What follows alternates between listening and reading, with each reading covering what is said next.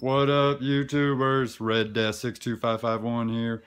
Hey, I don't claim to be the best YouTube player. Actually, to be quite frank with you, I get tired of watching the really good YouTube players. For what? They go like 40, 50 kills per game. Not knocking it, y'all pretty good and all, but I'm a real player. I get like 16 to 20 some kills a game if I'm lucky. I play with real players. So, thanks for watching. Share to like. Make sure to subscribe. Later.